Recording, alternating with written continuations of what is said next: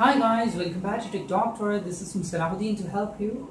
Today's my tutorial is about solving a problem while you're using third-party application to type any other languages in any softwares like graphic design softwares or Word soft Word, MS Word or any other software. While you're typing, while you're trying to type Malayalam or Hindi or any other languages other than English in your computer, you will have to use a third-party software. While uh, suppose you're typing Malayalam or Hindi, you have to use a software called MSM or ISM for especially for Malayalam. Just open the software and uh, you can type anywhere your language.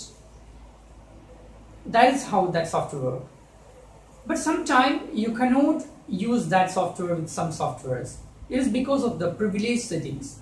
Suppose you cannot type Malayalam or Hindi in Photoshop software, you will have to go to desktop and find out the Photoshop's icon, right click on it and go to properties. In the compatibility tab, under the compatibility tab, you can see the privilege level. You can untick the option called run this program as administrator and just click OK. In the same way, just go to the third-party software that you use to type the other language and also go to its properties and under compatibility tab, just check the same option called run this program as administrator and click OK. After doing like this, you will not face this problem anymore. You can type your language anywhere in your computer. Thank you for watching.